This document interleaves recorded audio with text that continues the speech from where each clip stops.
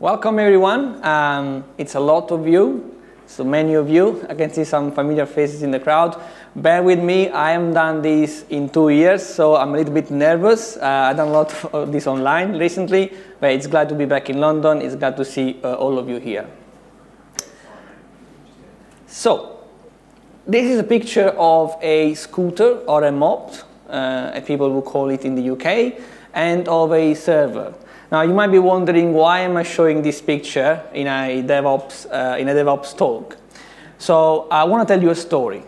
So when I was living in my hometown in Naples more than 20 years ago, um, I was working for a telecommunication company and this company would provide um, access to the internet, to the broadband with, you know, uh, to, to many users.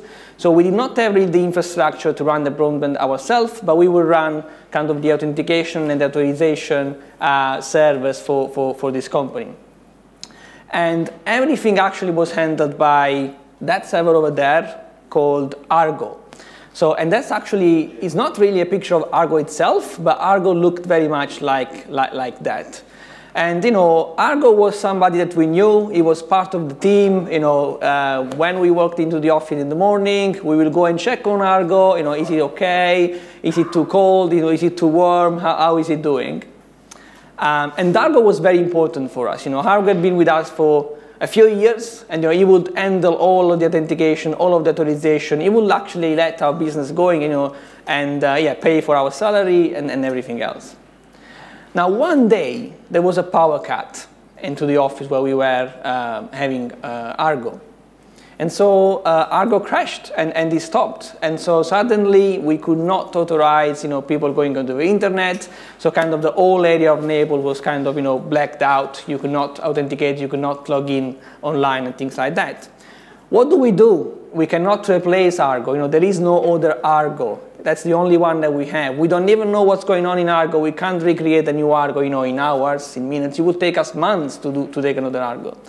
So what did I do? I unplugged Argo very carefully, trying to not hurt it. I put it on my scooter, which looked like very much like that.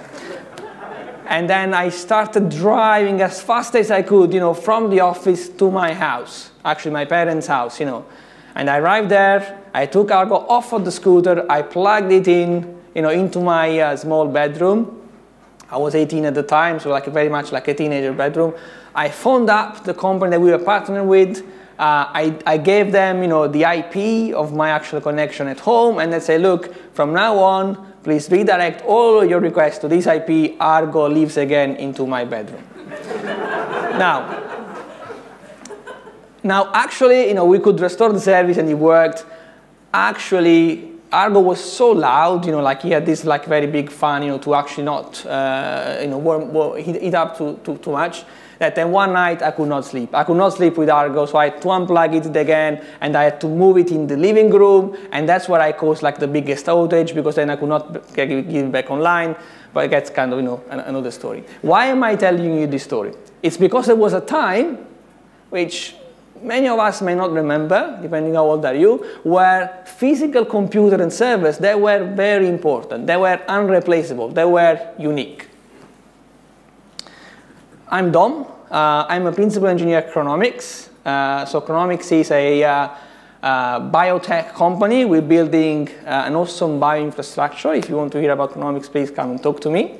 Uh, the one thing I think it's important to know about myself I might have a slight Italian accent, and I'm going to talk very fast. So if I'm not clear enough, please ask, uh, you know, let me know. I will repeat uh, myself. Okay, so what we want to talk to you about today is how did we go, how did we get from Argo, you know, 20 years ago, to you know, running functions into the cloud that power actually you know, business critical application and allow us to make some money. Uh, and then I want to talk a little bit about you know, infrastructure as, as code and you know, what, what does it mean today and what could it mean into the future. So in the past, you know, we had physical servers. Actually, you know, they looked, they were much nice looking than, than Argo, so they were a kind of you know, smaller rack that we could actually uh, plug in. Um, and then you know, we had on one side kind of the software engineers, the developers, you know, writing the code, and then on the other side we had kind of the operational people making sure that the server would run, they would have not crashed, they were you know, connected to the internet, uh, that they were patched regularly. And kind of those two words were, you know, uh, the, the, kind of things that you would do on a, on a, daily basis, you know, were very, very different. Like from a, an operational perspective, you might do procurement work, you know, getting in touch with um, companies where you would buy those servers, you will physically assemble them, you know, we will kind of replace, you know, hardware components.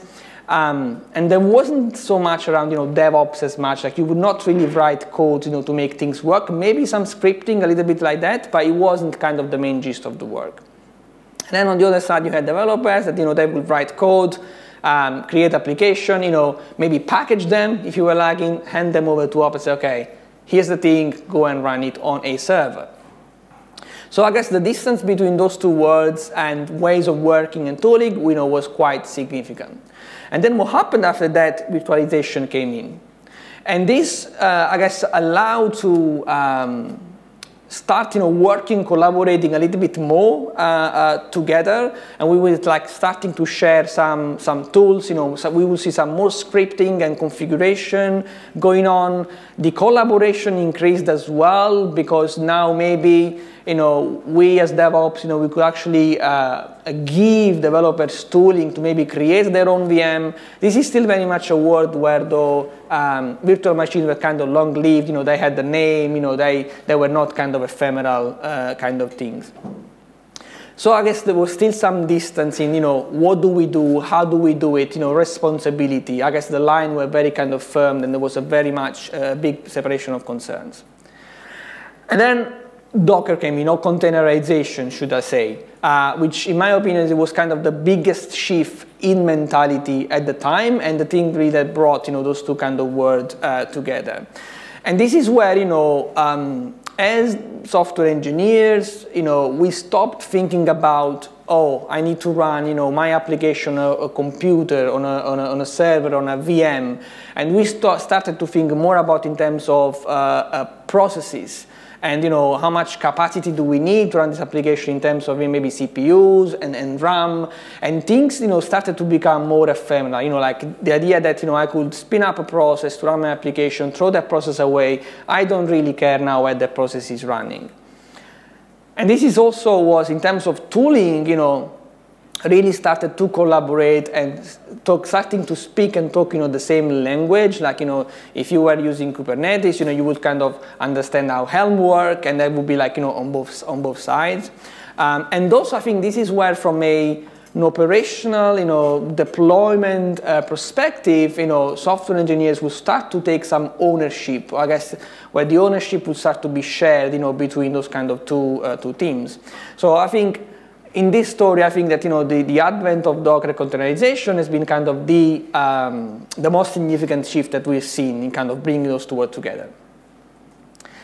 And then, kind of the serverless movement, I guess, started with the idea that don't worry about container, you know, don't worry about processes, uh, you know, just write some code, you know, it will run for you, you know, somewhere, uh, somehow. And I think this is where you know, we, they, did, they did bring you know somehow those two words together, but in, in, in, some way I think he also maybe and made them far away a little bit uh, again because now there is this constant battle about you know what happens to DevOps in a kind of serverless world. You know who there, there are no servers to manage or patch, right? And and that's not really true. And we're gonna see we're gonna see that why. But um, this the promise of serverless uh, it's about there is no ops, and also it's about uh, this is kind of you know the quickest way you know to be productive and to create application and to run businesses. But I think, in my opinion, you know the the, the, the distance between those two words and and then the productivity that comes out of it is still quite significant. And the, and the reason I say that is because you know the tooling and the ecosystem and the languages that you know we use to write the code and the infrastructure is, is still quite different, right? So on this picture here, you can see on the right-hand side, it's some code, uh, you know, some actually, you know, Lambda function code. Uh, and uh, on the left-hand side, this is an example of serverless using the serverless framework, which is one of the framework that you can use to manage your serverless application. But on the left-hand side, we do have some I don't know how to call it, a YAML scripting kind of language where you define the infrastructure. So you see that, you know, the infrastructure uh, definition is still separate from, from the actual application code. So we're still thinking, you know, at this being two kind of separate words, although much closer together than it was, you know, with Argo and the end application that I, I did write at the time, but still, uh, still different. So the question to me is kind of, you know, what's next? Is this kind of, you know, have we reached kind of, you know, the plateau in terms of, you know, uh, the, the most effective way of writing system, you know, business critical application, or is there anything else that we can do to even, you know, speed and boost up that kind of productivity to go from I have an idea, I'm running a business on this idea, you know, uh, the quickest possible. Okay, so to try to answer that question, I reflect a little bit on infrastructure as code. Um, and the idea that you know we write code to define infrastructure, which is still very much the case in serverless as well. Like if we go back a couple of slides, on the left-hand side, that code is just about the infrastructure. It does not tell me anything about the application. It does not tell me anything about the business logic and you know what my application does. And, and you know, infrastructure as code is a big topic right now, and many people are saying that's where you should invest your time. You know, that's where we need to automate everything. You know, we need to automate and code our infrastructure. And I guess whilst that's true today, I don't think that you know it is going to be true tomorrow. I know this is a little scary, maybe a little bit controversial, but uh, I'm going to explain it why. And this is my opinion; it might be wrong. But I do not think that infrastructure as code, at least as we think about it today, is going to make us win in the next you know, five uh, to 10 years. Because I think what's happening, like the, the, sh the shift that we see in our industry is that we start to think about you know, systems as a whole over infrastructure and application. Kind of the line between those two things is kind of becoming you know, more blurry. I don't know if blurry is the right word, but you see like things are merging together every day. And I guess that means a lot for both kind of, you know, DevOps and operation and software engineers where the role might be merging at some point. I don't know. I'm, I'm not going to go that far, but um, I think that definitely kind of skills and knowledge on both sides, you know, there, there will be, I guess, some collaboration increase, you know, skill exchanging and that kind of stuff that we need to happen. So actually, I'll lie to you a little bit. Imagine I'm not going to talk about infrastructure as code, uh, but I'm going to be talking about two kind of different emerging, I guess, way of uh, building systems, uh, which are uh, maybe what could be kind of the, the evolution infrastructure as code, um, which would be platform as code and infrastructure from code. And uh, a little bit of a disclaimer here. Uh, we're going to write some code, so what could go wrong? So I'm going to try to show you how this works because I think it's best to kind of look at an example. And I'm going to use uh, two particular tools or framework uh, to show this. I am in, by no means an expert in the tool I'm going to show. I just think that they are a good implementation of the pattern that I want to talk to you about. And so uh, I think, yeah, that I can express some of the ideas that I want to share with you quite uh, clearly with those. Um, so yeah, please bear with me. You know, I might not have all of the answer about those tools as I'm a new buy for in them. Okay, so the first one I want to talk about is platform as code. Um, and the idea with platform as code is that you know, you code the platform, and by platform I mean the system. You know, I mean the the actual yeah system and software that that you run over just thinking about this is the infrastructure, this is the application, this is the business logic. You can think about that as a, as a single thing.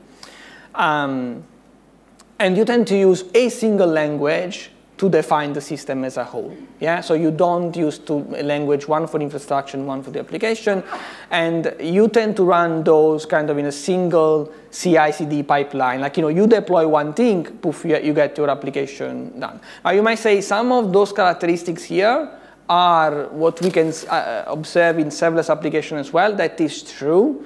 But um, in terms of the single language, that's not really the case. In terms of you know, thinking in, in, in terms of platform instead of kind of infrastructure and application, you don't really, you don't really see that.